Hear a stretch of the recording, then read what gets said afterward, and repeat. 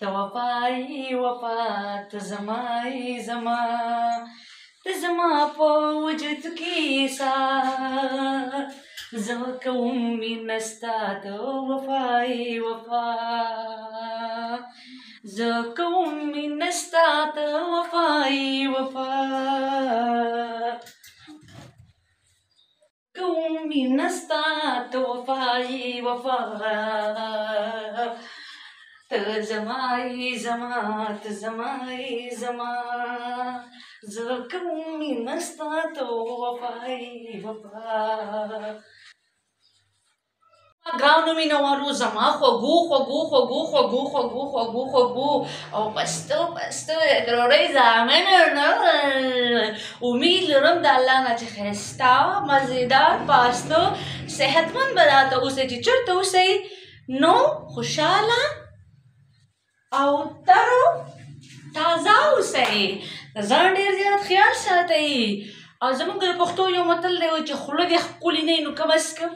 خبرې به ښایسته کوئ تاسو هیڅ کله دا سوچ مه کوئ چې زموږ سره مطلب پلان کې دا ویل ډنګري دا ویل هغه دغه وغیره وغیره یاد ساتئ چې کوم انسان ستاسو دوست دي نو هغه ته د خلکو د خبرو د سپایانو ضرورت هیڅکله هم ستاسو نه او چې کوم ستاسو دښمني نو هغه به بغیر د څه وجې نه تاسو باندې تنقید کوي تاسو سره به هیڅکله مینه محبت نه کوي نو یاد ساتئ د ترورۍ زامنو چې کوم انسان تاسو سره مینه کوي محبت کوي او ګران یې ورته خاص کر کې تاسو نو هغه به هیڅکله هم د سپایانو ضرورت هغه ته نه چې څوک هم د دې خبرې مطلب دا دی چې څوک هم د پلي خان سره مینه کوي نو هغه ته هیڅ کلم زما د سبیان او زما د وضاحت ضرورت نشته دی هغه جوازونه نه غواړي هغه چې هر څوک هم وي نو هغه جوازونه نه غواړي هغه به صرف او صرف تا سره مینه لري او مینا کول د هر چا د وس کار نه دی مینا کول د هر چا د وس کار نه دی صحیح ده که نه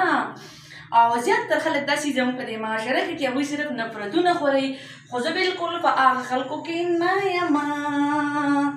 جلیبي بایی جلیبي بایی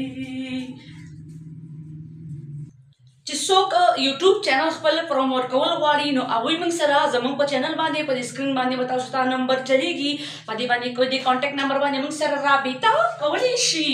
او موږ به تاسو ته ان ټایم محاتی وي خو خاص کر کې هغه خلکو ته ویل غواړم چې کوم خلک د کار خبره کوي نو پلیز تاسو موږ ته کال کولی شي په مینه مینه او په خوندونو خوندونو تاسو زموږ چینل ته راتلی شي کوم چې زما سبسکرایبر دی د یوټیوب چینل هغوی ته خاص کر کې زما د سیډا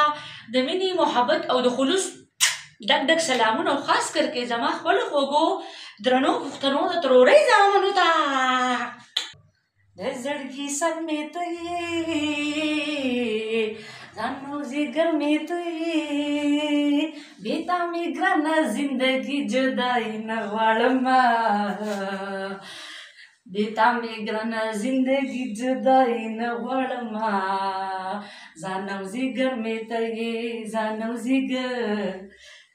जानव जी जिगर में तो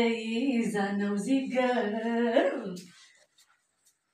माहिर अमलियात तो तावीज़ात अल्लामा अबू अहमद मुतवक्कल दुनिया में हलचल मचाने वाली कुतों के आमिल किसी के दिल में मोहब्बत पैदा करने वाला खास अमल सास बहू का झगड़ा हमेशा के लिए खत्म वहमी और शकी मिजाज शोहर हमेशा के लिए ताबे औलाद का नाफरमान होना कारोबारी बंदिश बैरून मुल्क सफर में रुकावट हर किस्म की बीमारी का खात्मा औलाद का न होना तलाक के मसले को फौरी हल जादू टोने के असर का मुकम्मल खात्मा خپلې ورځې تر وړې زمونږ زر چا په خبر باندې بالکل پروا نه ساتم ځکه زه دومره ښایسته هټي کټي موټي نرم پایسته